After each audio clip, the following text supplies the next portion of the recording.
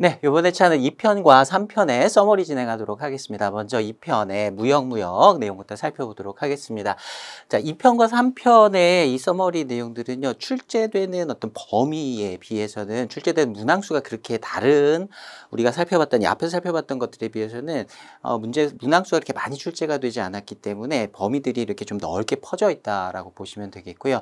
그 중에서도 이제 뭐 한 두 번 이상 이렇게 중복해서 출제됐던 문제들도 있지만 그것들도 따로 알려드릴 거고요. 그 이외에 한 번씩만 이렇게 딱 출제가 되었던 것도 좀 세부적인 부분에서 출제되었던 내용들도 좀 들어 있습니다. 그런 부분들 혹시라도 시험에서 우리가 만나게 되면 당황하지 않도록 표현들 정도 익혀보실 수 있도록 다 모아놨어요. 그래서 생각보다 좀 양이 많습니다. 그래서 다른 파트에 비해서는 그 출제 확률이 조금 이렇게 넓게 퍼져 있다라고 보시면 되겠고요. 중간중간에 제가 이런 것들은 한 번 정도 출제된 적이 있습니다라고 말씀드린 것들은 아주 심, 어, 이렇게 막 다 외 운다기보다는 이런 것들이 있었구나라는 정도 그 중에서 이제 눈에 여러분들이 들어오는 것들 정도로 표현을 익숙하게 만들어놓는 정도로 활용을 해보시면 좋겠습니다.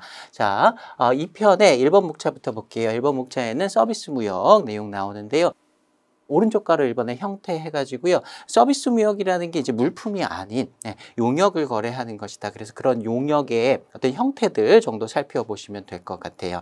자, 그 다음에 오른쪽 가로 2번에는 판매점하고 대리점 구분하는 내용이 나오는데요. 양거를 1번에 판매점, 양거를 2번에 대리점 계약해서 판매점은 그냥 자기가 물품 사오는 거죠. 그래서 물품을 사와서 자기가 잘 팔면 비싼 가격에 팔면 그만큼 차익을 얻을 수 있는 자신의 위험과 계산으로 물품을 판매하는 일반적인 판매상 생각하시면 됐었죠. 있죠. 자, 대리점 계약 같은 경우에는 대리점은 자기가 물품을 구매해서 파는 사람은 아니고 수출자를 대신해서 물품을 팔아주고 수수료를 얻는 사람이었어요. 그러니까 동그라미 2번에 보시면 대리점은 본점으로부터 구매 의무는 없다. 구매를 하는 건 판매점이고 대리점은 구매해서 파는 것은 아니다라는 거 다시 한번 구분해 두시기 바랍니다. 자, 그 다음에 동그라미 3번에는 독점 대리점 계약 해가지고요. 이 중에 뒷부분에 이제 괄호 안의 내용들 한번 살펴보시기 바랍니다. 조금 어, 려운 문제로 깊은 내용에서 한번 출제가 됐습니다. 있었는데요. 어, 독점 대리점 계약 같은 경우에는 대리점을 경유하지 않은 경우에도 본점이 수수료를 지급해야 하는 경우가 있다라는 거 한번 출제가 된 적이 있었어요. 자, 그 다음에 동그라미 4번의 내용과 동그라미 5번의 내용도요. 한 번 정도 출제가 됐던 내용들이니까 어, 눈으로 보고 익혀두시기 바랍니다. 자, 그 다음에 양가로 3번에는 프랜차이즈 계약되어 있는데요. 이것도 많이 출제되는 내용은 아니지만 한 번 정도 내용들 쑥 훑어보시고 넘어가시기 바라고요. 어, 끝부분에 나와 있는 괄호의 내용이 이렇게 오답으로 출제됐던 내용들을 이렇게 골라놨습니다. 그래서 어, 내용이 조금 많다라고 하면 이 오답으로 출제되었던 무엇은 해당하지 않는다라고 이렇게 써 있는 부분이라도 좀 살펴보고 넘어가시면 혹시나 문제가 출제됐을 때 당황하지 않을 것이라고 생각합니다.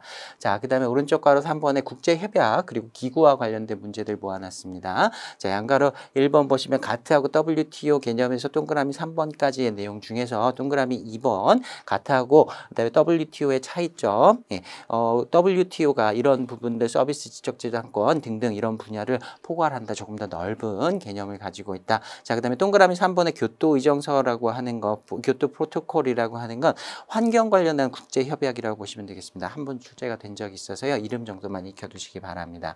자, 그 다음에 양가로 2번에 WTO 관련해서는요. 동그라미 1번에 MFN이라고 하는 최혜국 대우라고 하는 예, 내용 요 표현 한번 익혀봐 두시고요. 그 다음에 DSB라고 불리우는 어, 분쟁 해결 기구입니다. WTO에 WTO 회원국들에는 이것들이 다 적용이 되지만 FTA 체결 시에 이걸 꼭 포함해야 하는 것은 아니다라는 것도 출제가 한번 된 적이 있었어요. 자, 그 다음에 동그라미 3번에 보시면 다자간 협상, 수자간 협상 해가지고 다자간 협상은 WTO 모든 회원국에 적용이 되고 수자간 협정은 그 WTO 회원국 중에서도 우리가 이 협정에 적용을 받겠다라고 수락한 회원국에 대해서만 구속력을 가진다. 이걸 구분하는 협약의 내용들을 구분하는 문제가 두 번 정도 복수로 출제가 된 적이 있었으니까 이 내용들을 구분하는 건 좀 연습을 해 두셔야 될 것 같아요. 자, 그 다음에 안가로 3번에 트립스 해서 지식재산권 보호 협약이죠. 자, 동그라미 2번 2번에 뭐 포함되는 권리들이 있고요. 어, 맨 끝에 괄호 안에 실용신앙권은 포함되지 않는다. 이게 오답으로 한번 출제가 된 적이 있었습니다. 자, 그 다음에 동그라미 3번에는 저작권의 존속기간 이것도 복수로 두 번 이상 출제가 됐었던 내용이니까요. 숫자 좀 기억을 해 두셔야 됩니다. 자, 그 다음에 어, 양가로 4번에는 FTA 관련한 내용들 좀 모아놨습니다. 어, 동그라미 2번에 WTO의 최회국 대우의 원칙에 예외가 적용이 된다. 그리고 동그라미 3번 3번에 FTA는 물품도 당연히 포함을 합니다. 뭐 이제 물품이 큰 부분을 차지하고 있고 거기에 추가적으로 서비스라든가 지식재산권이라든가 등등 이런 내용들도 추가로 포함이 된다라는 것. 자, 그 다음에 2번 목차로 넘어갈게요. 기술무역 관련된 내용입니다. 오른쪽 가로 1번에 라이센스 계약, 기술 도입 계약이라고도 불리우고요. 자, 동그라미 2번에 독점적 실시 허락, 동그라미 3번에 비독점적 실시 허락 두 가지 구분하실 수 있어야 됩니다. 이것도 두 번 정도 출제가 됐었던 내용이고요.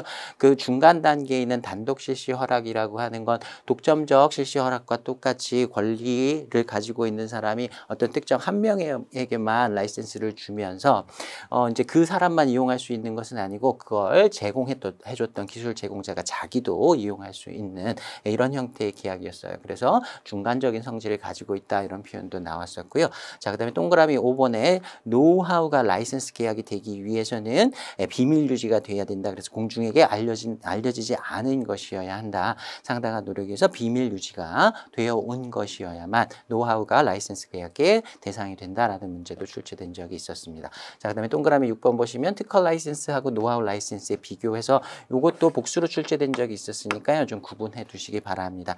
뭐 특허 라이센스 계약 같은 경우에는 이거는 등록이 되어 있는 것이기 때문에 해당 국가와 번호 이걸 표시하면 어떤 라이센스인지 그, 그 내용을 확인할 수 있는데 반해서 노하우 같은 경우에는 그 회사가 갖고 있는 어, 말 그대로 어떤 영업 비밀, 노하우에 해당하는 것이기 때문에 어디까지를 실시허락의 대상으로 할 것인지 범위를 명확하게 정의를 해야 되고 그다음에 어떻게 전달을 해줄 것인지 전달 수단 같은 것도 구체적으로 더 명확하게 계약을 체결할 때 합의를 해야 한다는 것이 차이점이 있었습니다.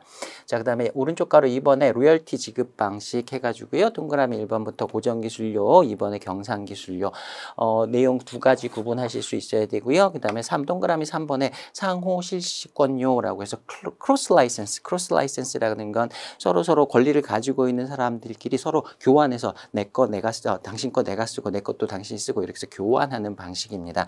그래서 이 상호 실시권료의 대금 지급을 할 때는 합의에 따라서 로얄티를 결정하는 것이 뭐둘 사이에 뭐 그냥 돈거래 없이 그냥 교환만 하기로 하는 경우도 있을 것이고요. 어, 어떤 경우에는 누가 조금 더 돈을 주, 주고, 주고 이렇게 cross license를 사용한다라고 어, 계약을 체결할 때 합의를 할 수 있을 거예요. 그래서 어, 마지막에 괄호 부분 보시면 대가의 전액을 지급하여야 한다라는 것이 오답으로 한번 출제가 된 적이 있었으니까 요거하고 좀 연결을 시켜 보시기 바랍니다. 자, 그 다음에 오른쪽 괄호 3번에 라이센스 계약 기타 해가지고요. 이 부분에는 어, 많이 출제가 되진 않았었지만 중간중간에 한 번 정도씩 언급이 되었던 개념들을 넣어놨으니까요. 동그라미 1번부터 4번까지의 내용 눈으로만 예, 몇번 보시고 한두 번 정도만 보시고 익혀두시면 좋겠습니다. 동그라미 4번 보시면요. 저작 인접권 보호에 관한 로마 협약이라고 하는 게 한 번 출제가 된 적이 있었어요. 저작 인접권이라는 건 뭐냐면 저작권자는 아니지만 뭐 실현자 실제 뭐 음악 같은 경우에는 내가 내가 그 음악을 작곡했던 했다거나 작사했다거나 이런 사람은 아니지만 실제로 그 음악을 연주했던 사람이라든가 그 음반 관련된 제작자라든가 방송을 했던 방송국이라든가 그런 당사자들이 가지는 권리를 저작 인접권이라고 합니다. 그것과 관련된 것이 로마 협약이라는 협약이 있습니다. 이름 정도만 봐두시기 바랍니다. 자, 그 다음에 오른쪽 괄호 4번에 플랜트 수출 계약 관련된 내용들 모아봤습니다. 자, 양괄호 1번의 계약 방법에는 대표적인 게 동그라미 1번의 일, 어, 일괄 수주 계약 turnkey contract라고도 했었죠. 자, 그 다음에 동그라미 2번 보시면 일괄 수주 계약이 턴키 계약 같은 경우에는 산통부 장관이 승인할 때에 국토교통부 장관의 사전 동의를 받아야 한다. 이걸 사후 동의를 받아야 한다. 이렇게 해서 오답으로 한번 출제가 된 적이 있었어요. 자, 그 다음에 동그라미 3번 보시면 플랜트 수출 계약은 통상적으로 경 경쟁 입찰 방식을 사용한다. 어, 물론 수의 계약으로도 체결을 계약을 체결할 수 있지만 통상적으로는 그렇다. 통상적으로 수의 계약으로 계약을 체결한다라는 것으로 이제 오답으로 문제가 출제된 적이 한 번 있었으니까 이것도 같이 한번 연결시켜 보시고요. 다음에 양가로 이번에는 플랜트 수출 계약 할 때의 계약 금액을 어떻게 지급할 것인가 정산 방법에 대한 계약 방법이 있었습니다. 동그라미 1번에 고정 가격, 동그라미 2번에 실비 정산 계약. 예, 정해진 가격을 그냥 주는 것이고 실비 정산 계약은 실제로 들어간 금액을 나중에 정산해주는 이런 계약이었습니다. 두 가지 차이점 봐주시고요. 그 다음에 양가로 3번에 보시면 수주자 컨트랙터라는 표현이랑 발주자 employer라고 하는 표현만 잘 익혀두시면 될 것 같아요. 수주자는 물품 매매 계약에서 매도인이라고 생각하시면 되겠죠. 공사를 맡아가지고 해주는 사람, 발주자는 이제 그 공사를 발주를 해가지고 받는 사람이 될 겁니다. 그러니까 대금 지급 관련된 의무는 발주자에게 있다. 이행 선수금도 대금 지급의 일부니까 어, 발주자가 이행 선수금을 지급하여야 할 의무를 가진다. 이걸 수주자가 이행 선수금을 지급하여야 한다라는 내용으로 오답으로 한번 출제가 된 적이 있었어요.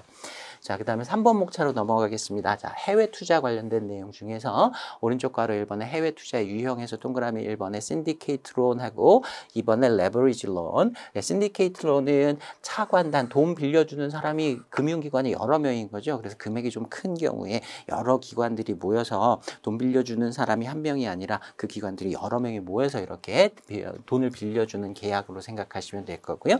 leveraged lease는 리스 계약을 할 때 어떤 물품을 이제 빌려주 줄 텐데 그 물품을 구매할 때 리스 업자, 리스 회사가 전액을 다 부담하는 것이 아니라 일부 금액만을 예, 어, 출자를 해가지고 물품을 구매해서 리스를 해주는 그래서 말 그대로 레버리지 지렛대 효과를 이용하는 리스다라고 보시면 되겠습니다. 나머지 금액들은 별도 다른 출자자로부터 빌려와 가지고 이렇게 어, 리스 계약을 체결하는 경우를 말합니다. 자, 그 다음에 어, 동그라미 3번부터요 6번까지의 내용들이 한 번 정도씩 언급되었던 이런 표현들이에요. 그래서 좀 깊은 내용이긴 하지만 어, 이 정도 이름 정도 혹시 여력이 되신다고 하면 좀 봐두시면 좋겠습니다. 다 외우기가 좀 부담스럽다라고 하시면 그냥 넘어가셔도 크게 문제는 안 될 정도의 출제 비중이었어요. 자, 그 다음에 어, 네, 다음 오른쪽 가로 2번에 국제주세와 관련된 내용들 보겠습니다. 동그라미 1번에 국제주세 원칙 해가지고 뭐 거주지국, 해당 당사자, 회사가 어디에 근거지를 두고 있는지 원천지국이라고 하는 건 그 수입이 발생한 국가가 어디인지 그 다음에 국적지, 그 회사의 국적이 등록되어 있는 국가가 어딘지에 따라서 과세를 한다라는 원칙들이 있어요. 자, 근데 세계은행의 과세 원칙이 적용된다 이런 표현이 오답으로 한번 출제가 된 적이 있었습니다. 어, 한 번 출제가 됐었으니까요. 참고로 봐두시면 될 거고요. 동그라미 이번에 국제조세 회피 방법에 여러 가지 방법들이 교재에서도 좀 살펴본 적이 있었죠. 자, 이 중에서 출제가 됐었던 건 투자국의 자본 유입을 최대화한다라는 내용으로 오답으로 출제가 된 적이 있었습니다. 그거 한번 봐두시고 그 다음에 이전 가격과 관련된 건 다국적 기업의 경우에 그 여러 국가에 위치하고 있는 자회사들 사이에 물품을 거래하는데 적용되는 가격 일반적인 시장 가격과는 조금 다르다. 그래서 전체 그 기업 어, 전체로 봤을 때 기업 전체로 봤을 때 이익을 극대화하기 위해서 어, 이용하고 있는 어, 국제주세 회피 방법으로도 사용될 수 있는 방법, 어, 정책이다라고 보시면 되겠고요. 자, 그 다음에 동그라미 4번 보시면요. 우리나라의 외국인 투자 촉진법이라고 하는 법이 있습니다. 여기서 문제가 한번 출제가 된 적이 있었는데 한번 출제됐었습니다. 자, 원칙적으로 외국 우리나라 외국인 투자 촉진법에서는 특별한 규정이 있는 경우 외를 제외하고는 일반적으로 그냥 제한을 안 받고 제한을 많이 풀어준 경우라고 보시면, 보시면 되겠습니다. 그래서 모든 투자 활동을 신고할 필요는 없다. 우리나라 외국인 투자, 어, 투자 촉진법에서 외국인들이 투자를 할 때 모든 투자 활동을 신고해야 한다. 신고하지 않으면 무효다. 뭐 이런 식으로 오답으로 출제가 된 적이 한 번 있었으니까 그 정도만 익혀보시기 바랍니다. 자, 그 다음에 이제 4번 목차로 넘어가서요. 전자무역 내용 보겠습니다. 자, 오른쪽 가로 1번 개요의 동그라미 1번 보시면요. 전자무역 해가지고 전자무역의 일반적인 의의 적어놨고요. B2C, Business to Customer라는 뜻입니다. 그러니까 회사가 일반 고객에게 물품을 전자적인 방법으로 어, 파는 이런 거래 방법이 있을 수도 있 있고요. B2B 기업 간의 business to business로 또는 business to government 정부에 이렇게 전자무역으로 계약을 체결하는 형태도 있을 수 있습니다. 어, 시험에서는요. 전자무역은 B2C다 이렇게 해서 이제 오답으로 출제가 된 적이 있었습니다. B2C뿐만 아니라 B2B나 B2G 등의 형태 여러 가지 형태가 있을 수도 있다라는 거 봐주시고요. 자, 그 다음에 동그라미 2번에 보시면 전자무역의 범위에는 전자적 형태의 무채물 그리고 용역 뭐 이런 어, 전자물 전자적 형태의 무채물이 여기에 포함이 될 텐데 우리 대외무역법상 내용에서 살펴봤듯이 대외무역법상에서 무역의 범위에는 물품뿐만 아니라 전자적 형태의 무채물과 용역 예, 서비스도 포함이 되어 있었죠. 그리고 이런 전자적 형태의 무채물이나 용역을 수출한 경우에도 당연히 수출 시적으로 인정된다라고 하는 내용들 공부한 적이 있습니다. 자 외국 어, 무역협회장이 확인 기관이었습니다. 여기까지 좀 살펴봐 두시고요. 그다음에 동그라미 3번의 내용은 일반적인 계약도 마찬가지입니다만 전자무역 계약상 표시자가 뭔가 과실을 해가지고 뭐 하자 있는 의사 표시를 했다라고 하면 원칙적으로는 취소를 할 수가 있는데 그 과실이 중대한 것이었다라고 하면 취소할 수 없다라고 하는 우리나라 민법에 규정이 있었습니다. 자, 이것도 출제가 한 번 된 적이 있었으니까 중대한 과실은 취소할 수 없다라는 정도 표현만 좀 익혀보시기 바랍니다. 자, 그 다음에 오른쪽 괄호 2번 보시면요. 전자무역 관련된 법규 내용들 좀 모아놨습니다. 있습니다.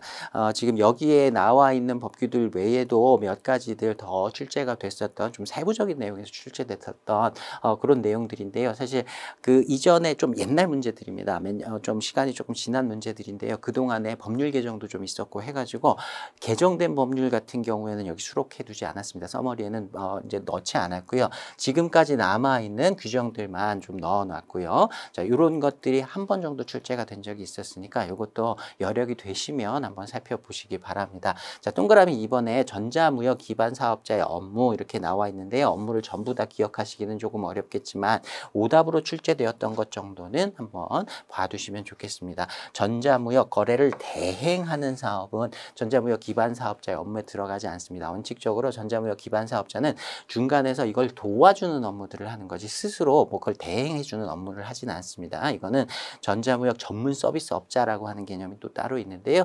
그런 사람들이 하는 업무에 속합니다. 한 번 출제가 된 적이 있었어요.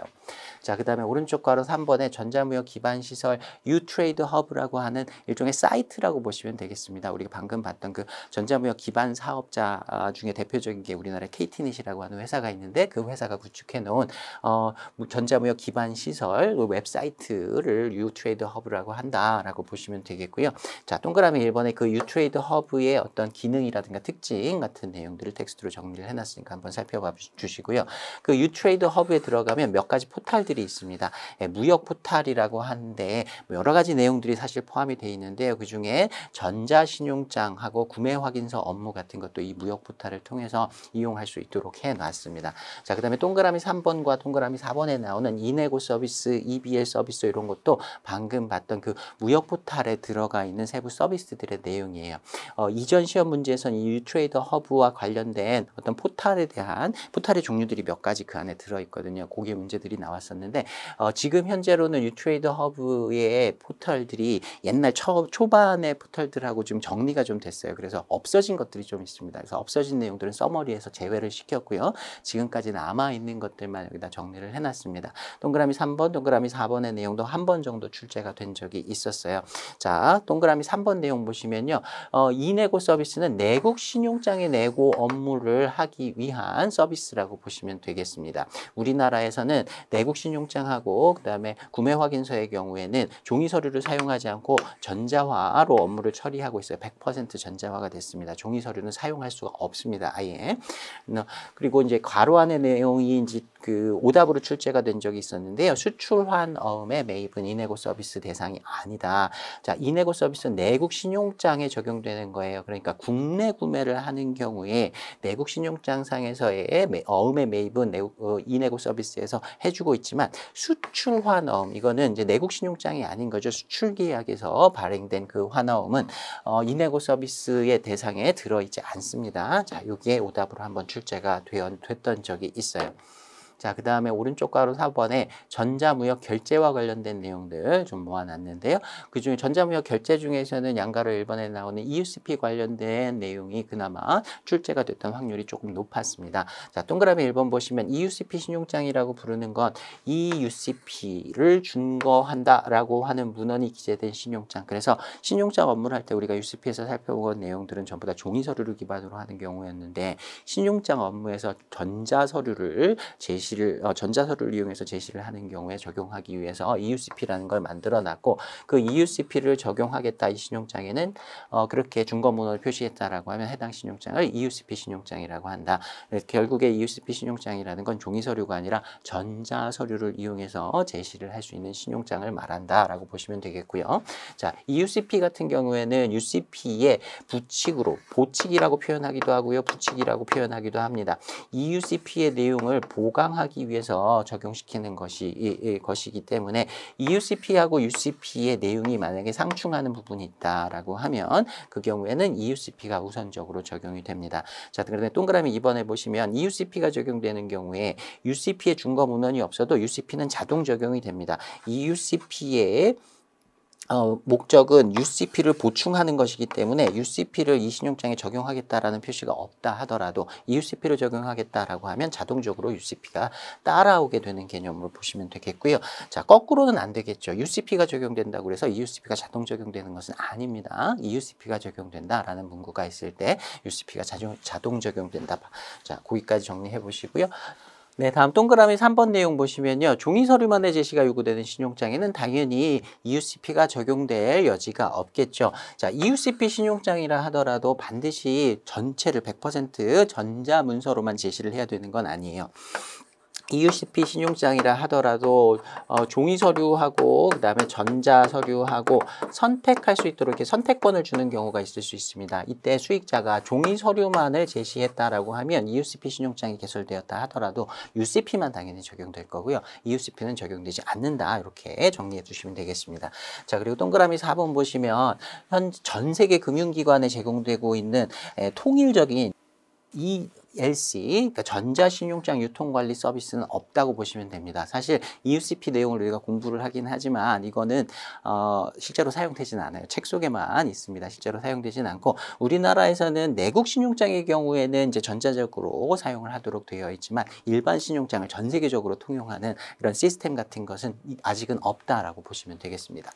자, 그 다음에 양가로 2번에 보시면 전자선화증권, 전자식선화증권, 전자선화증권 관련된 내용들인데요. 동그라미 1번 보시면 전자선화증권과 관련될 수 있는 규칙들이 뭐가 있느냐. 우리나라의 상법이라든가 그다음에 로테르담 규칙, 로테르담 규칙에는 전자선화증권을 이용하기 위한 어떤 규정들, 기본적인 규정들이 마련이 돼 있어요.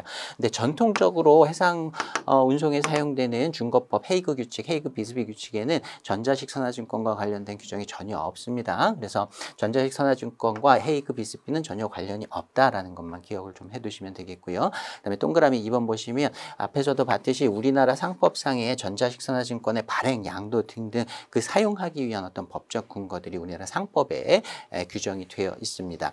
그리고 동그라미 3번 보시면요. 전자식 선화증권하고 마찬가지로 이 전자선화증권도 국제적으로 제공되는 전자선화증권의 유통 시스템은 없습니다. 아까 유트레이드 허브에서 국내에서 EBL 서비스라는 걸 하고 있다라고는 했지만 그건 우리나라 국내에서 일부 사용되는 것이고요. 전 세계에 공통으로 스탠다드로 사용되고 있는 시스템은 아직 없다라고 보시면 되겠습니다. 그리고 동그라미 4번도 참고로만 봐두시면 될 것 같은데요.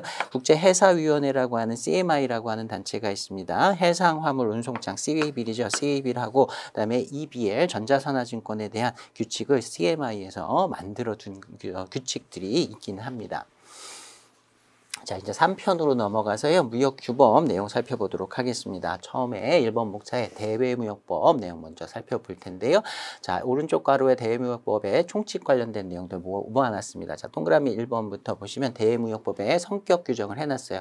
우리나라의 무역관리를 위한 3대 법규, 대외무역법하고 관세법, 그리고 외국항거래법이 있다 그랬죠. 자, 그 중에 무역의 기본법이다라고 한, 어, 이제 대외무역법을 무역의 기본법이라고 부른다라고 했습니다. 자, 그 다음에 동그라미 2번 보시면 보면 대외무역법상 어, 물품 등 무역 거래의 대상이 되는 것, 무역 거래의 객체를 물품 등이라고 표현을 해놓고 물품과 용역 그리고 전자적 형태의 무채물 이렇게 세 가지를 표현을 하고 있다라고 했어요. 그 중에 물품에는 주식이나 채권 같은 이런 증권, 채권은 포함되지 않는다라고 했습니다. 그거 주의하시면 되겠고요.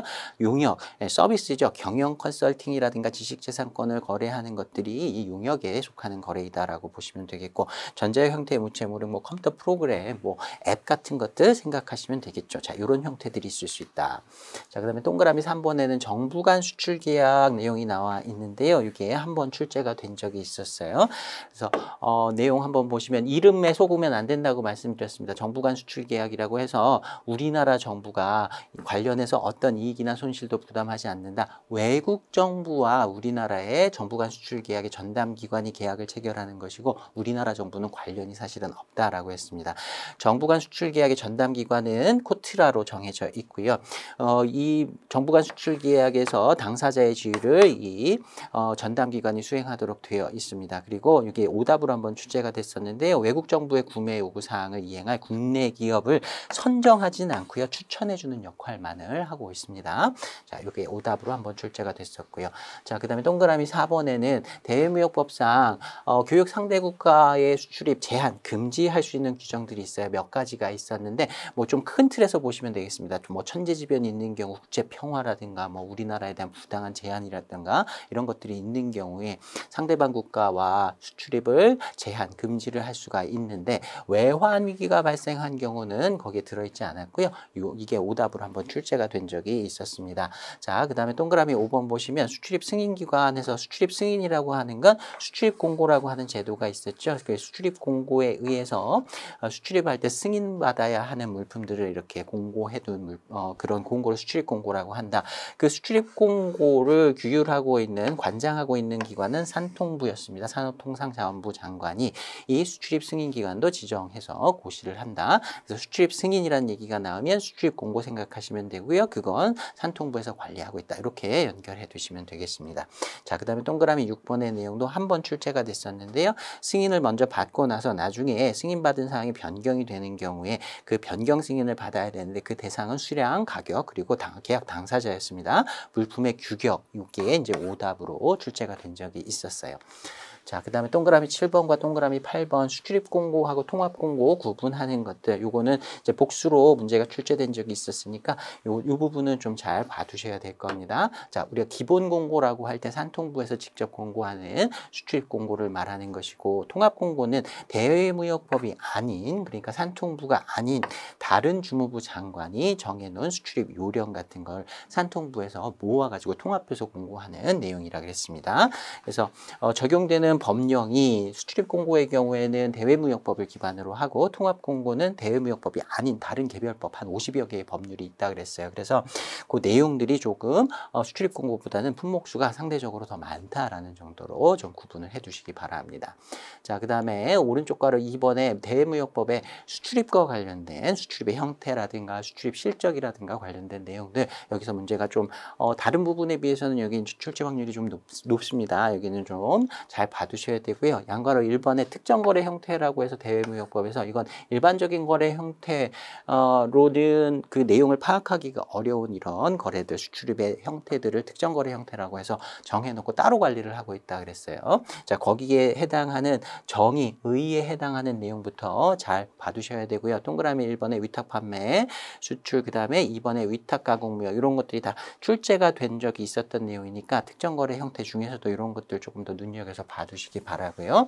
마찬가지로 외국인도 수출, 외국인수 수입 관련된 내용, 그 다음에 무한 수출입 요 정도까지는 좀 꼭 봐두시기 바랍니다. 그 다음에 동그라미 6번의 중개무역이 특정 거래 형태 중에서도 가장 많이 출제가 됐었던 내용이라고 보시면 되겠고요. 관련해서 출제가 됐었던 그 개념들을 쭉 한번 모아봤습니다. 자, 첫 번째 내용이 이제 중개무역의 정의에 해당하는 내용이고요. 두 번째 내용 보시면 수수료라는 내용이 나오고요. 물품과 선적 서류가 최초 수출자에게서 최종 수입자에게 직접 인도가 된다. 그래서 둘 간의 계약을 체결할 때 어떤 제3자가 계약 체결하는 걸 도와주는 중개무역을 설명한 내용이에요. 어, 요 이제 요 내용이 중개무역 다음 중 중개무역과 거리가 먼것뭐 이런 식으로 해서 오답으로 출제가 된 적이 한 번 있었습니다. 참고로 중개무역은 중개무역 말고요. 중개무역은 특정 거래 형태로 정해져 있지 않습니다. 이거는 따로 정리가 된 것이 없어요. 자, 그 다음에 내용 보시면 어, 중개무역의 경우에는 수출 실적의 인정금액 이거는 외국에서 물품 사서 외국에다 파는 것이기 때문에 실제로 우리나라 기업이 중개무역을 하더라도 얻을 수 있는 어, 이익은 가득액만이 해당이 된다. 그래서 예를 들어 뭐 100달러 100달러 받고 물품을 팔았는데 이 물품을 80달러 주고 사왔다라고 하면 실제 얻은 이익은 20달러밖에 안 되는 거죠. 가득액이라는 개념이 나온다. 자, 수출 금액은 FOB를 기준으로 하고 수입 가격은 CIF를 기준으로 계산을 한다라고 보시면 되겠고요. 자, 그다음에 수출입 실적에 인정 관련된 내용, 인정 시점이라든가 확인 증명 발급 기관 요거까지 좀 정리를 해 주시고요.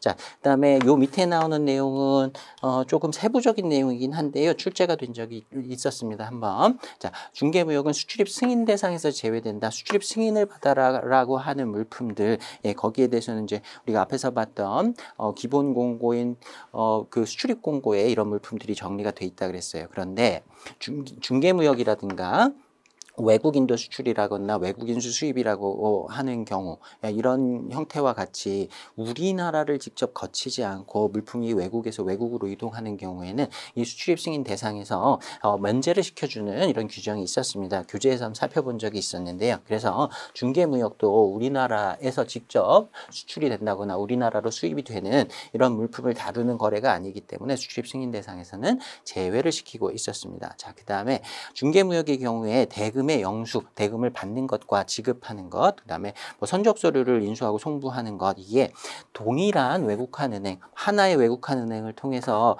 물품 구매할 때 대금 지급하고 물품을 팔고 나서 대금을 받고 이렇게 은행 하나를 통해서 받아야 한다라는 규정은 없어요. 말을 만들어 가지고요. 반드시 중개무역의 경우에는 같은 외국한 은행을 통해서 대금 지급을 또는 수령을 해야 한다. 이렇게 네, 오답으로 한번 출제가 된 적이 있었습니다. 자, 그 다음에 양가로 이번에 수출입 실, 어, 실적의 인정 금액, 인정 시기에 관련된 내용들 좀 정리를 해놨는데요. 우리 교재에는 이것보다 조금 더 많은 내용이 있었죠. 근데 출제가 됐었던 내용만을 좀 추렸습니다. 그러니까 다른 내용까지도 다 보시는 게 좋지만, 어, 좀 어려, 좀 여력이 안 된다, 나 좀 바쁘다라고 하시면 적어도 이 내용까지는 꼭 봐주시기 바랍니다. 자, 원칙 수출은 원칙은 이제 유상으로 돈 받고 하는 수출이 수출 실적의 인정 대상이 됐었고요. 인정 금액은 FOB 가격을 기준으로 하는 수출 통관액을 기준으로 했었습니다. 그리고 수출 신고 수리를 기준으로 인정 시점을 봐주고 있었고요. 자, 원칙적인 유상 수출에 이런 내용이 한번 출제가 된 적이 있었어요. 네, 그 교재에서도 봤던 내용인데 이게 따로 얘기하면 또 헷갈릴 수 있으니까 다시 한번 정리하자라는 어, 측면에서 각주 선 박으로 달아놨습니다. 자, 우리나라 선박이에요. 우리나라 선박이 외국에서 포획한 수산물, 이거 우리나라 물건으로 본다 그랬죠. 유상으로 외국에 매도하는 경우가 수출에 해당했었습니다. 원칙적인 수출에 해당하는 경우였고요. 이런 원칙적인 유상 수출에 해당하는 거래 형태가 될 수 있습니다.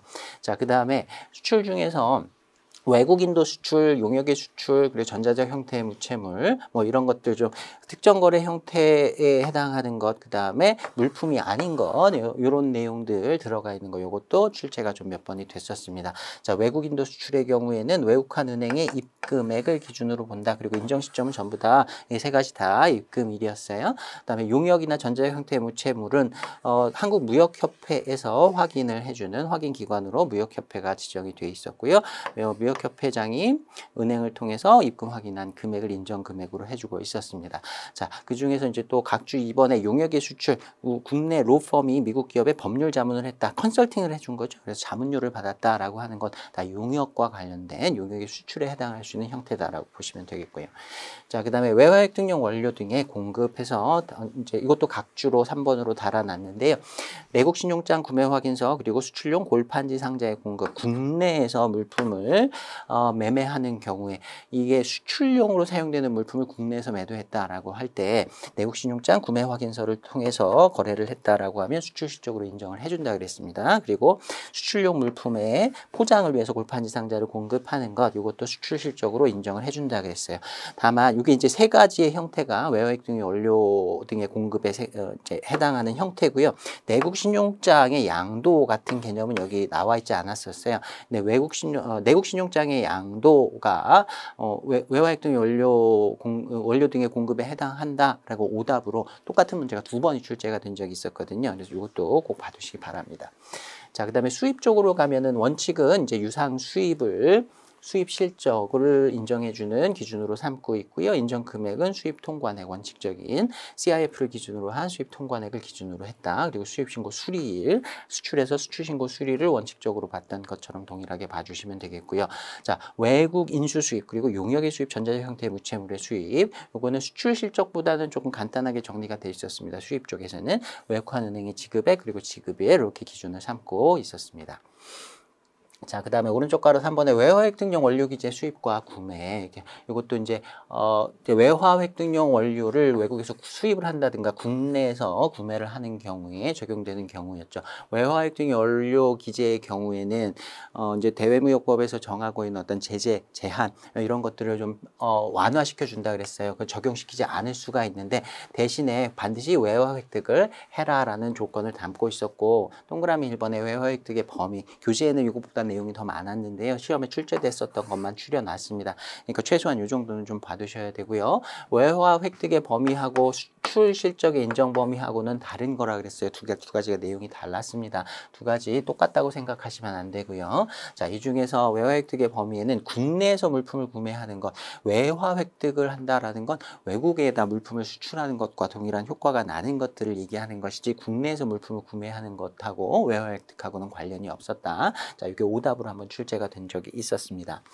자, 그 다음에 동그라미 2번에 보시면 이제 구매 확인서하고 내국 신용장 관련된 문제가 이것도 복수로 출제가 된 적이 있, 어, 됐었으니까요. 어, 요, 요 부분도 잘 봐두셔야 됩니다. 자, 구매 확인서와 같은 경우에는 대외무역 관리 규정, 대외무역법의 그 근거가 있다. 근데 내국 신용장 같은 경우에는 대외무역법 규정이 아니라 무역금융 관련 규정, 요거는 이제 한국은행에서 별도로 규정을 두고 있고 그에 따라서 운영을 하고 있다라고 했고요. 구매 확인서와 내국 신용장 둘 다 외국환 은행에서 발급이 가능합니다. 다만 구매 확인서는 전자무역 기반 사업자 그 앞에서 봤던 그 uTrade Hub 여기를 통해서도 할 수 있어요. 예, 추가적으로 둘 다 둘 중에 하나 할 수 있다라고 보시면 되겠고요. 자 개설 조건은 내국 신용장의 경우에는 무역금융 융자 한도 한도 내에서 그래서 뭐 외국에서 수출 신용장을 받았다거나 아니면 수출 실적이 있는 경우에만 이걸 사용할 수 있도록 해줬고요. 구매 확인서는 그렇게 내국 신용장은 아무나 사용할 수가 없기 때문에 어 그렇게 내국 신용장을 사용할 수 없는 경우에 혜택을 받기 위해서 어, 사용하는 것이다. 그래서 제한 없이 발급을 할 수 있다라고 어, 정리를 했었습니다. 자, 내국 신용장의 경우에는 지급 보증이 있고 구매 확인서는 단순히 이게 외화획 등용 원료 기재 수출용 어, 물품을 국내에서 거래했다라는 확인으로만 사용되는 것이지 은행의 대급 지급에 대한 보증 같은 것은 없었습니다.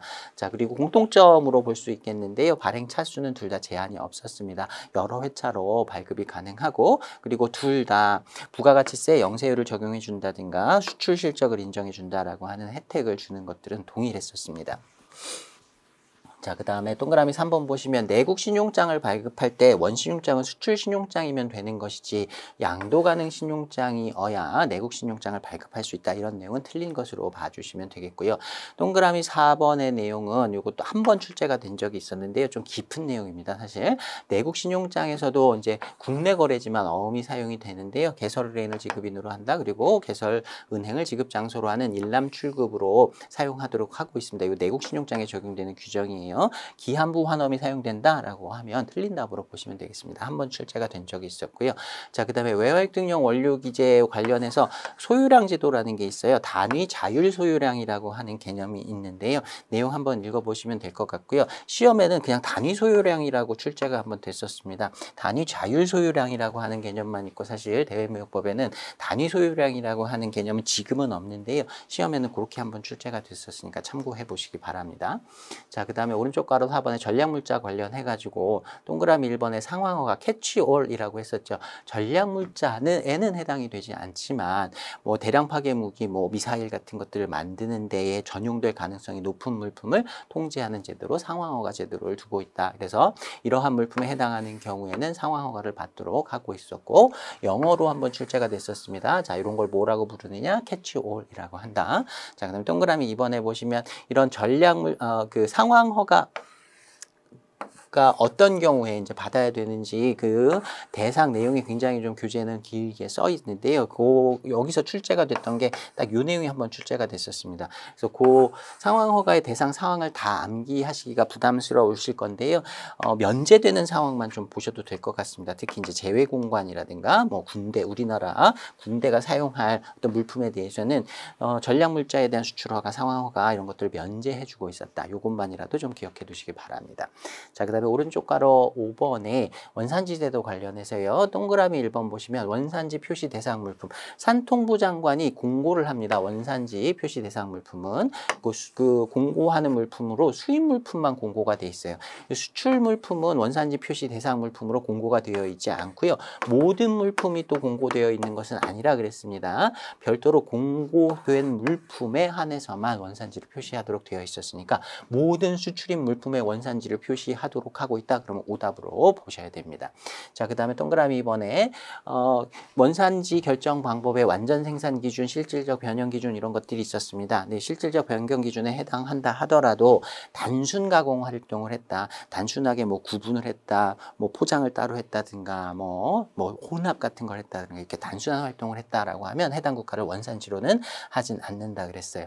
자, 그 다음에 동그라미 3번에 이 원산지를 표시하는 것과 관련해서 또 원산지를 결정하는 것과 관련해서 원칙적으로는 이제 그 무역 거래자들이 스스로 해야 되는데 나 잘 모르겠다 헷갈린다라고 하면 산통부 장관한테 이거 원산지가 어딘지 판정을 해달라고 요청할 수 있다라고 했습니다. 이게 숫자가 출제가 된 적이 있었어요. 두 번이나 출제가 됐으니까 그 중에서도 제가 지금 노란색으로 표시한 부분들이 오답으로 출제가 됐었으니까요. 이런 숫자들 좀 기억해 두시기 바랍니다. 처음에 신청하면 60일 이내에 원산지 판정해 갖고 알려줘야 되고요. 만약에 그렇게 판정을 받은 원산지가 내 생각하고 좀 다르다 그런 경우에는 불복을 할 수가 있다. 그래서 이런 통보를 60일 이내에 받은 통보를 받은 날부터 30일 이내에 이의 제기를 불복의 이의 제기를 할 수가 있고 불복을 하는 경우에는 조금 더 시간을 더 들여서 150일 내에 결정을 해서 알려주도록 되어 있었습니다. 자, 이렇게 두 번 출제가 됐었어요. 자, 그 다음에 동그라미 4번과 동그라미 5번의 내용은, 어, 이렇게 틀리라고 낸 문제였습니다. 좀 깊은 내용에서 낸 문제였는데요. 원산지 증명서 CO상의 수하인의 정보는 원칙적으로는 운송상, 운송서류, 비일과 같은 운송서류상의 수하인과 동일해야 되는 게 원칙입니다. 예외도 있긴 하지만 요 원칙까지만 좀 봐주시면 되고요. 남북한 사이에 거래되는 물품에 대해서도 원산지 증명서가 발행이 되는데요. 요거는 이제, 어, 우리나라는 세관, 상공회의소, 북한은, 어, 민경련이라고 부르는 단 단체에서 이걸 하고 있습니다. 여기에 이제 뭐 오답으로 한번 출제가 된 적이 있었어요. 어, 자, 그 다음에 오른쪽 가로 6번 기타 해가지고요. 여기에 이제, 어, 그 한 번 정도 출제가 됐었던 또 틀리라고 냈던 좀 깊은 내용 또 이런 것들을 좀 모아놨습니다. 자 동그라미 1번에 이건 앞에서도 한번 살펴봤었어요. 플랜트 수출 계약의 경우에 일괄 수주 방식에 의한 어, 그 승인을 하는 경우에 국토교통부 장관의 사전 동의, 사후 동의가 아니라 사전 동의를 받아야 된다라는 거 내용 나와 있었고요. 자 그다음에 동그라미 2번에 수입 수량 제한 조치 관련해서는 무역위원회라는 기관이 있었고요. 그리고 수량을 제한할 때는 연평균 3년간 연평 평균 수입량 이상으로 제한을 해야 된다라고 했었고 그다음에 원칙적으로 적용 기간은 4년을 넘어서는 안 되고 연장을 하는 경우라고 하더라도 관세법상의 긴급 관세, 잠정 긴급 관세를 부과하는 기간하고 합쳐서 최장 8년을 넘어서는 안 된다. 4년, 8년 숫자도 좀 기억해 두시기 바랍니다. 그리고 산통부 장관이 이런 수입 수량을 제한할 때 국가별로 그 수량을 할당할 수도 있다라는 규정도 있었습니다. 자, 이제 2번 목차 관세법으로 넘어가겠습니다. 자, 오른쪽 가로 1번에 총칙 관련된 내용들 중에서요. 동그라미 1번에 관세의 성격에 대한 내용들 교재에서 좀 살펴봤었는데요. 그 중에서 이제 대물세와 관련된 것이 오답으로 한번 출제가 된 적이 있었습니다. 물품에 부과하는 세금을 대물세라고 부릅니다. 자, 그 다음에 동그라미 2번에 보시면 어, 관세법상에는 내국 물품이니 외국 물품이니 하는 개념이 있었는데요. 그 중에 이게 이제 어, 오답으로 한번 출제가 된 적이 있었어요. 우리나라 선박이 공해에서 채집한 해삼, 수산물, 우리나라 선박, 선박이 우리나라 거니까 선, 그 우리나라 선박이 공해에서 채집한 수산물은 우리나라 내국 물품입니다. 외국 물품이 아닙니다. 자, 그 다음에 환적과 복합 환적이라고 하는 정의에 나오는 개념들 살펴봤었는데요. 자, 복합 환적 관련된 문제가 한번 출제가 된 적이 있었고요. 그 다음에 동그라미 4번은 관세법상 서류를 보관해야 하는 기간이 5년, 3년, 2년 이렇게 나눠져 있었죠. 그 중에서 이제 어, 모세 화물 그리고 적화 목록 관련된 자료에 보관 기간은 2년이었다라는 거 여기서 오답으로 출제가 된 적이 있었으니까 요거까지는 좀 살펴보시기 바랍니다. 자, 그 다음에 오른쪽 가로 2번에 관세 부과와 징수 관련해서요. 양가로 1번에 납세 의무자부터 살펴보면 동그라미 1번에 원칙적인 납세 의무자는 수입 신고 시에 화주로 한다. 근데 동그라미 2번 보시면 만약에 화주가 누군지 잘 모르겠다라고 하는 경우에 실질적인 화주를 찾으면 된다 그랬습니다. 대행 수입을 했다라고 하면 수입을 위탁한 사람, 수입을 그 대행 수입해 달라고 요청한 사람이 화주가 된다. 자, 여기서 시험 문제가 한번 출제된 적이 있었고요. 그다음에 양가로 이번에는 과세 표준입니다. 어, 그 물품이 수입 물품이 가격이 얼마냐? 그 가격에다가 보통 이제 종량세, 종가세 두 가지로 나누어지는데 종량세가 아, 종가세 가격을 기준으로 관세를 부과하는 경우가 대부분이라 그랬어요. 그래서 과세 표준을 결정하는 방법이 1방법부터 6방법까지 있다라고 했는데 그 중에서 요것만 정도 요것 정도는 알아두자라고 했었습니다. 원칙적으로 제 1방법을 어, 적용을 한다. 실제로 지급했거나 지급해야 할 가격에다가 가산요소, 공제요소를 조정해서 이제 그 과세 표준을 결정하는 방법이다라고 했습니다. 자, 그 다음에 동그라미 2번 보시면요. 다음 수익권에 대한 과세 가격은 이렇게 나와 있는데요. 과세 표준을 계산하는 문제가 한 번 출제가 된 적이 있습니다. 어, 뭐 10년 기준으로 봤을 때 딱 한 번 출제가 되긴 했지만 간단하게 계산을 하실 수 있으니까 연습을 한번 해보겠습니다. 자, 계약 조건은 FOB예요. 여기 중요합니다. 한불크 그리고 100만 달러 이렇게 돼 있어요. 자, FOB 가격이니까 여기에는 운임이 포함되어 있지 않습니다. 100만 달러에는. 네, 어, 수입 그 물품의 과세 가격을 결정할 때는 정확하게 CIF 가격은 아니지만 러프하게 보시면 CIF 가격으로 보시면 돼요.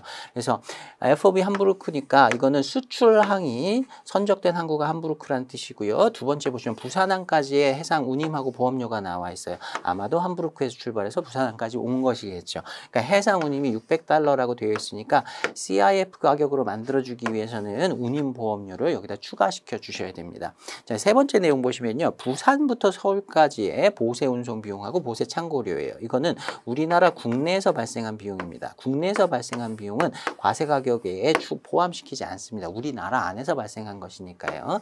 CIF 가격 기준으로 살펴보시면 되고요. 여기에다가 과세 환율은 천원으로 주어졌으니까 100만 600달러에다가 천 원 곱해가지고요. 예, 10억 60만 원 이렇게 해서 어, 구해 주시면 되겠습니다. 예, 어, CIF 가격 이렇게 기준으로 예, 환산해 주시면 됩니다. 자, 그 다음에 어, 양과로 3번에 세율 관련된 내용 보겠습니다. 동그라미 1번에 세율 적용의 우선순위 해가지고요. 1순위부터 6순위까지 세율들이 관세법에 규정이 되어 있다라고 했어요. 다른 건 몰라도 1순위에 해당하는 것 그리고 기본 세율 정도, 기본 관세 정도 요, 요 정도는 좀 기억을 해두자라고 했고요. 특히 1순위 중에서도 덤핑 방지 관세와 상계 관세는 꼭 기억해두자라고 했습니다. 그리고 FTA 자유무역 협정에 의한 특혜 세율은 요 사이에 들어간다. 1순위 세율이 적용이 된다라고 하면 FTA가 적용되는 물품이라 하더라도 1순위 세율은 먼저 적용이 되는 것이고 FTA 세율은 2순위의 세율보다 같거나 낮은 경우에 적용을 시켜준다라고 했습니다. 자, 이렇게 정리를 해야 되고요. 동그라미 3번에 상계관세 관련해서 문제가 출제된 적이 있었는데 상계관세는 수출국 정부에서 보조금을 받은 경우에 부과하는 관세라 그랬어요. 그런데 모든 보조금에 대해서 부과하는 것은 아니고 특정성이 있는 보조금을 받은 경우 다. 그래서 특정성이 있는 케이스가 어떤 것들이 해당한다 교재에서 살펴봤었습니다. 자, 그 중에서도 연구 지역 개발 그리고 환경 관련 장려금의 경우에는 이런 보조금으로 보지 않는다 그랬어요. 그러니까 이런 경우에는 상계관세를 적용하지 않는다라는 의미가 되는 것이죠. 자, 여기서 문제가 출제가 된 적이 있었으니까 이것도 확인해 주시기 바라고요. 그다음에 동그라미 4번에 FTA 특혜 세율, 자유무역 협정 관세율 방금 제가 앞에서 표로 말씀드린 것처럼 1순위 세율은 제외하고 다른 세율과 같거나 낮은 경우에 먼저 적용을 한다. 1순위 세율이 적용되는 케이스다라고 하면 FTA 특혜 세율을 적용하지 않고 1순위 세율을 적용한다라고 했습니다. 자, 그 다음에 양과로 4번에는 납세 의무의 확정에서 확정 방식의 동그라미 1번의 신고납부 방식이 원칙이라 그랬습니다. 부과고지 방식과 신고납부 방식이 있는데 원칙은 신고납부 방식이고 자, 신고납부 방식의 경우에는 납세 의무자가 납부해야 할 세액을 스스로 계산해서 수입 신고를 할 때 납세 신고를 같이 한다 그랬습니다. 수입 신고를 수리 수입 신고를 하는 때에 납세 신고를 하는 것이지 수입 신고 수리한 다음에 나중에 납세 신고를 하는 건 아니에요. 자, 이게 오답으로 출제가 된 적이 한 번 있었고요. 자, 그 다음에 동그라미 2번에 이렇게 신고 납부를 했는데 계산이 틀렸다. 나중에 그걸 잘못된 걸 알았다라고 하는 경우에 보정 신청 수정 신고를 할 수 있다. 이거는 수입 신고를 한 다음에 나중에 다시 계산해 봤더니 내가 너무 조금 냈더라. 신고 납부한 세액이 부족한 경우에 더 내, 다시 계산해서 더 내면 된다 그랬고요. 만약에 너무 많이 냈다. 신고 납부한 세액이 과다한 것을 어, 너무 많이 받아 냈는데 다시 돌려받아야 되는 경우에는 세관장한테 경정해 달라고 이거를 어, 그 세관장이 조정하는 걸 경정이라고 한다 그랬습니다. 경정을 해서 어, 추가로 너무 많이 납부한 세액을 돌려달라고 요구할 수 있다. 그걸 경정 청구라고 한다. 그러니까 부족한 경우에는 보정 신청 수정 신고를 할 수 있고 많이 납부했다라고 하면은 어, 경정 청구를 해야 한다. 이렇게 두 가지로 나눠 보시면 되겠죠. 자, 그다음에 오른쪽 가로 3번에 보세제도 관련해서요. 동그라미 1번에 자율관리 보세구역에는 보세사를 채용해야 한다. 그리고 보세사의 업무 다시 한번 익혀봐 주시고요. 그다음에 특허 보세구역 중에 보세 공장이라는 보세 구역이 있었습니다. 여기에 이제 보세 구역 원재료와 관련된 문제가 출제된 적이 있었는데 괄호 안에 맨 끝에 괄호 안에 있는 내용이 오답으로 한번 출제가 됐었으니까 이 정도는 좀 살펴봐 주시고요. 그다음에 동그라미 3번에 보세 공장에서 제조된 물품을 우리나라로 반입하는 경우에 수입을 하는 경우도 있을 수 있다 그랬어요. 그런 경우에는 원료과세, 제품과세 두 가지의 방법 중에 하나를 선택해서 수입 신고를 할 수 있다라고 했고요. 그다음에 동그라미 4번의 내용은 좀 깊은 내용인데 틀리라고 냈던 문제이긴 합니다만 한번 살펴봐 주시기 바랍니다. 종합보세 구역을 지정할 때 그 대상이 되는 지역인데요. 자유무역 지역은 해당되지 않습니다. 자유무역 지역은요 보세구역으로 지정을 안 해도 이건 관세법상 외국으로 보기 때문에 굳이 보세구역으로 지정할 필요가 없는 거예요. 자유무역 지역은 여기에 들어있지 않습니다. 자, 그 다음에 오른쪽 가로 4번에 통관 관련된 내용 중에서요. 양가로 1번에 수입 신고 관련된 내용부터 먼저 정리를 해보겠습니다. 자, 동그라미 1번 보시면 외국 물품을 수입 신고를 해서 우리나라로 갖고 들어오면 내국 물품이 되는 거죠. 그래서 수입 신고가 수리가 되면 외국 물품이 내국 물품이 된다. 수입 신고가 수리되고 나면 보세 구역으로부터 반출을 할 수가 있다. 자, 동그라미 2번에는 신고 납부의 경우에는 수입 신고 수리하고 나서 15일 이내 관세를 납부해야 된다 그랬어요. 원칙적인 납부 기간 기간이 이랬습니다. 어, 부가고지의 경우에도 부가 고지서를 받고 나서 15일이네 어, 날짜는 같았죠. 자, 근데 관세를 납부해야만 수입 신고가 수리되는 것은 아니었습니다. 수입 신고 수리 전에 관세를 납부할 수는 있지만 관세를 납부해야만 수입 신고가 수리되는 건 아니다. 그러니까 관세 납부하고 수입 신고 수리하고는 관련이 없다. 이렇게 정리를 해 두셔야 되고요. 자, 그다음 동그라미 3번에 외국에서 출항 전에 신고를 하는 게 아주 예외적인 내용이긴 하지만 여기에 두 번 출제가 됐었거든요. 출항 전 신고 그다음에 우리나라에 도착하기 전에 입항 전 신고가 있을 수 있고요. 그다음에 입항한 물품이 보세 구역에 이제 도착하기 전에 그 항구에 이미 이제 선박은 들어왔지만 아직 보세구역으로 이동하지 않은 상태에서 보세구역 도착 전 신고라는 걸 할 수가 있고 원칙적으로는 보세구역에 장치가 된 후에 신고하는 것이 일반적인 예, 신고의 시기였습니다. 근데 이런 수입 신고의 시기들이 이건 사실 관세법이 아니라 고시에 나오는 내용이긴 한데요. 두 번 출제가 됐으니까 자 이런 식으로 신고를 하는 규정이 예외적인 규정들도 있다라는 거 좀 익혀봐 두시기 바라고요. 동그라미 4번에 예외적으로 이제 어, 입항 전 수입 신고 관련된 규정을 두고 있었습니다. 원칙적으로는 입항 후에 수입 신고를 해야 되는데 입항 전 수입 신고도 예외적으로 할 수 있도록 규정을 두고 있다. 그래서 외국에서 물품이 이제 출발을 하고 나면 어, 해상 운송의 경우에는 5일 전 항공 항공기 항공운송의 경우에는 하루 전부터 수입 신고를 할 수가 있다. 그리고 입항 전 수입 신고가 된 물품은 우리나라에 도착한 것으로 본다라고 했습니다. 네, 다음 두 개의 내용은 사실 좀 깊은 내용이긴 한데요. 참고로 봐두시기 바랍니다. 입항전 수입신고 관련해서 세부적인 사항은 관세청장이 정하도록 되어 있고요. 세관장이 정한다라고 하면 틀린 걸로 보시면 되고요. 그 다음에 검사 대상으로 결정된 물품이 수입신고지 관할 세관장이 적 적재 상태에서 검사가 가능하다고 인정하는 경우에는 뭐 적재한 상태에서 검사를 하는 것도 가능하다. 뭐 한 번 읽고 넘어가시면 될 것 같습니다. 자, 그 다음에 동그라미 5번에는 수입 신고 전 즉시 반출 제도라는 게 있다 그랬어요. 수입 신고도 하기 전에 먼저 물품을 빼가고 나중에 수입 신고를 하는 어떤 신속 통관을 위한 제도라고 했었습니다. 자, 대상자 아무나 할 수 있는 것은 아니었고요. 그 다음에 즉시 반출 신고라고 반출된 물품은 내국 물품이 된 것으로 그냥 간주를 한다 그랬습니다. 그리고 즉시 즉시 반출 신고를 하고 나서 10일 이내에 수입 신고를 해야 되고요. 그리고 수입 신고한 날부터 15일 이내 관세를 납부하도록 되어 있습니다. 원칙적으로는 수입 신고가 수리된 날로부터 15일이 납부 기한인데 즉시 반출 같은 경우에는 수입 신고를 한 날부터 15일 이렇게 돼 있었어요. 그래서 10일, 15일 숫자도 좀 기억을 해 두시기 바랍니다. 자, 그 다음에 양가로 이번에는 통관의 제한 나와 있는데요. 이거는 한 번씩 출제됐던 내용들 좀 모아놨어요. 그래서 자주 출제되는 내용은 아니지만 참고로 좀 봐두시면 좋겠고요. 동그라미 1번에 보시면 원산지 표시를 위반한 물품에 대해서는 통관을 세관장이 제한을 할 수가 있습니다. 자, 그 내용들 한번 쭉 보시고요. 괄호 안에 맨 끝에 괄호 안에 내용이 오답으로 출제가 된 적이 있었습니다. 경미한 원산지 표시가 위반이 있었다라고 하면 고쳐라, 이거 정정하라라고 한 다음에 통관을 허용할 수 있습니다. 자, 그 다음에 동그라미 2번 보시면 관세법상에서도 지식재산권을 보호하는 제도들을 두고 있는데요. 이거 한번, 한두 번 정도 눈으로 보시고요. 실용신안권은 포함이 되어 있지 않다라는 게, 예, 요, 요게 이제 오답으로 출제가 된 적이 있었으니까요. 실용신안권은 포함되지 않는다라는 것 정도까지만 좀 봐두시면 되겠습니다. 자, 그 다음에 양가로 3번에는 기타 해가지고요. 어, 동그라미 1번에 관세법상 통관제도의 특징 해가지고, 어, 좀 부수적인 내용으로 출제됐던 이런 부분들을 좀 모아봤습니다. 자, 내용들 한번 한번 읽고 그냥 넘어가시면 될 것 같아요. 그뭐 달달달달 외워야 될 내용들은 아닙니다. 동그라미 2번에 어, 유통이력 신고 제도라는 게 있습니다. 유통이력을 신고하도록 되어 있는 정해진 물품들이 있는데요. 그런 경우에는 신고하고 나서 기록을 1년간 보관해야 된다. 요거를 이제 뭐 5년 이렇게 해가지고 오답으로 출제를 한 적이 있었습니다. 자, 그 다음에 동그라미 3번에 중고자동차는 선상 수출 신고의 대상이 아니다. 선상 수출 신고라는 건 물품이 배에 실려 있는 상태에서 수출 신고라는 좀 특이한 특이한 수출 신고인데요. 중고 자동차 는 규제가 좀 까다롭습니다. 그래서 대상에서 제외가 되어 있고요. 틀리라고 낸 문제로 한번 출제가 된 적이 있었습니다.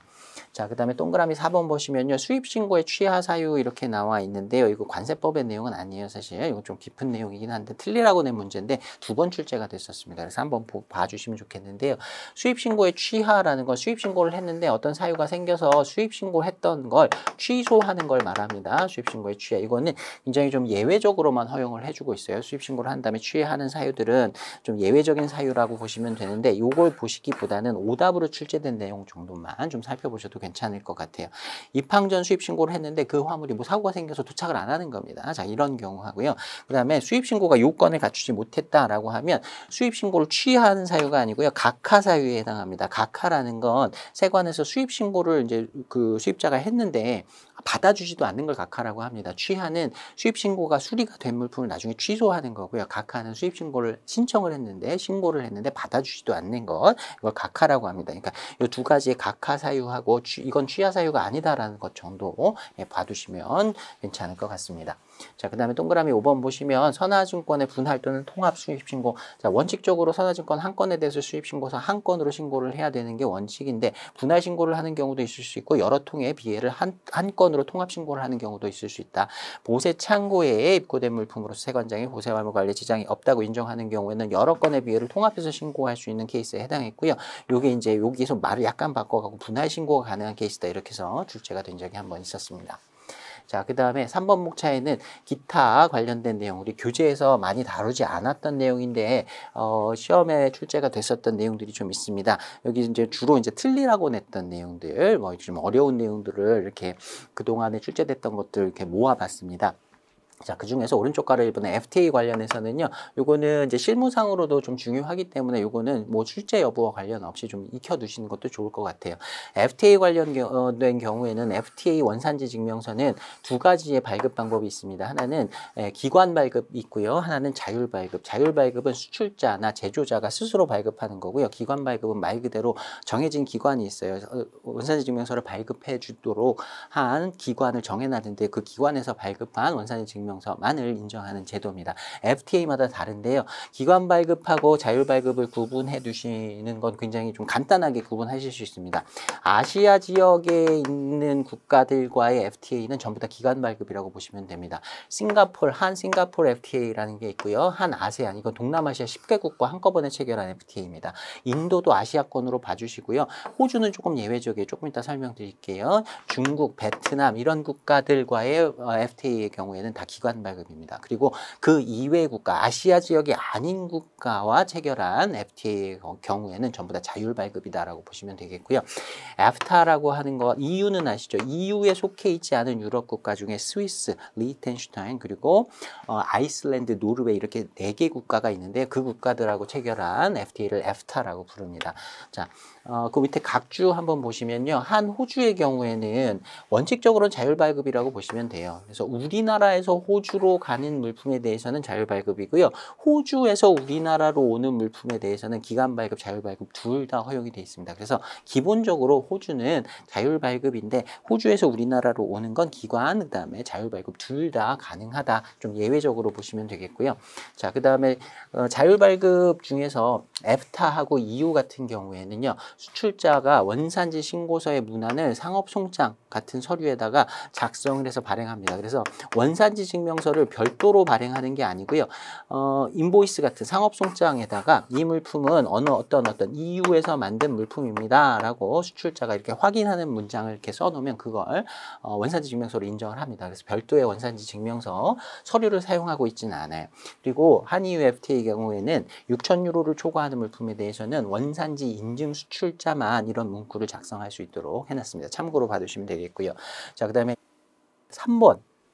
어, 미국 같은 경우에는 좀 특이한 점이 있어요. 한미 FTA 협정에서는요, 수입자도 원산지 증명서를 발급할 수가 있습니다. 자율 발급하는 경우에는 수출자하고 제조자, 가 발행을 하는데요. 어, 한미 FTA 같은 경우에는 수출자 제조자로부터 물론 정보를 받아야 돼요. 정보를 받아서 수입자가 스스로 원산 증명서를 발급할 수 있도록 하고 있습니다. 좀 특이한 아, 제도를 가지고 있어요. 자, 그 다음에 오른쪽 가로 이번에 외국환 거래법에서 문제가 거의 출제가 되지 않았었는데요. 이 정도 내용이 출제가 된 적이 있습니다. 그 중에 동그라미 1번에서 세 번째 내용, 외화 획득용 원료 승인, 요, 요 내용은 우리 대외무역법에서 봤던 표현이죠. 자, 요거는 대외무역법에서 규정을 하고 있다.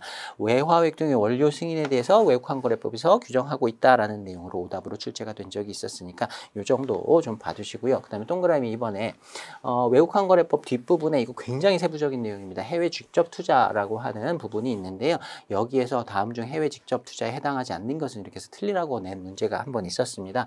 네, 관련해서 해외 자원 개발 사업법상 해외 자원 개발을 위한 조사 자금은 해외 직접 투자에 해당하지 않는다. 예, 이거는 그냥 모르고 넘어가셔도 상관은 없는데 혹시나 해서 예, 이 표현 정도는 아 여기 외국환거래법 관련해서 이런 내용이 나오면 이게 답이었구나. 이렇게 출제가 된 적이 한 번 있었습니다. 그러니까 이것만 한번 봐두시면 좋겠어요.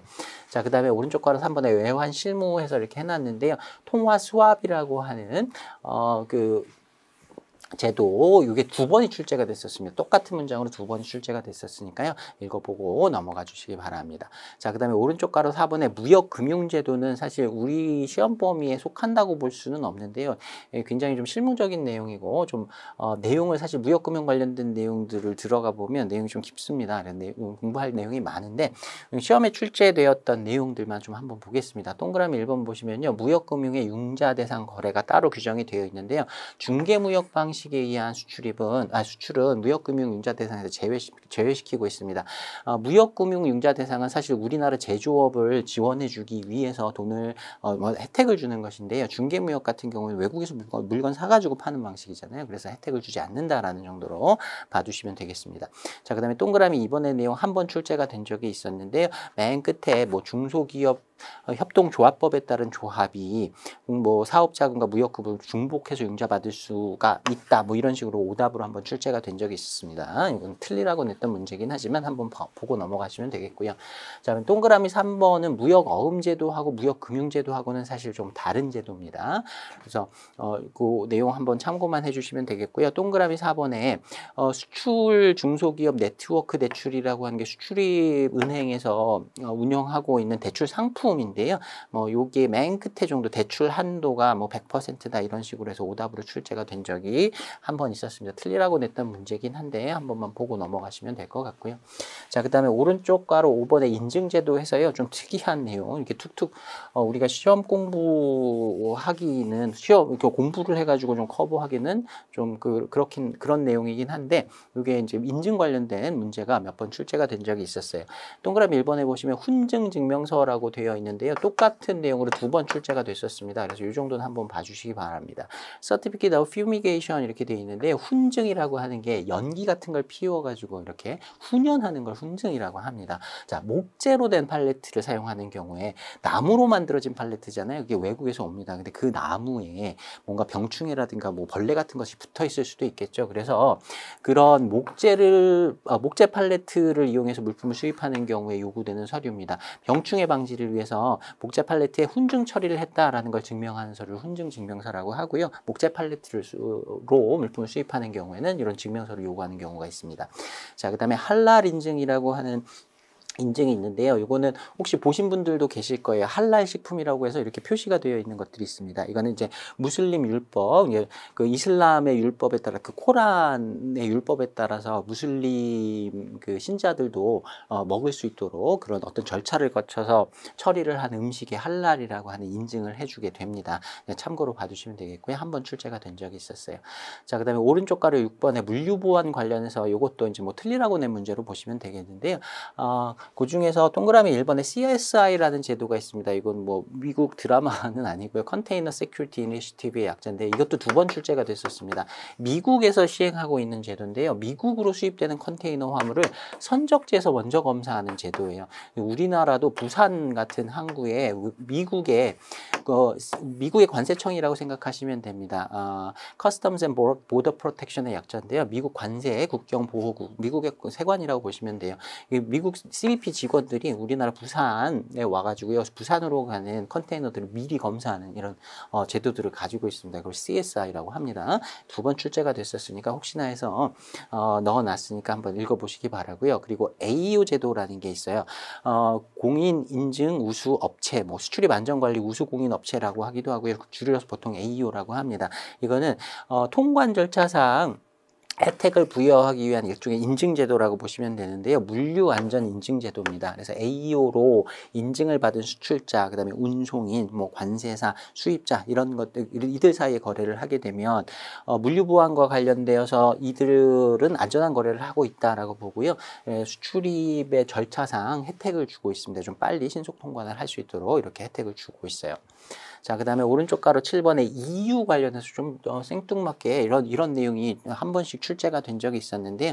참고로 넣어 놨으니까 한 번 정도만 읽고 넘어가시면 될 것 같습니다. 자, 여기까지 해서 어, 3편과, 어, 2편과 3편의 서머리 내용 마치도록 하겠습니다. 처음에 말씀드린 것처럼 여기 이, 이 2편과 3편에서는 어, 출제 범위가 좀 넓다라고 보시면 되겠고요. 여러, 그 하나의 개념에서 두 번, 세 번 출제된 문제들 비중보다는 한 번씩만 출제된 내용들이 많기 때문에 전체적으로 좀 봤을 때 제가 중간에 이거 여러 번 출제됐었습니다라고 말씀드린 그 부분 중점적으로 보시고요.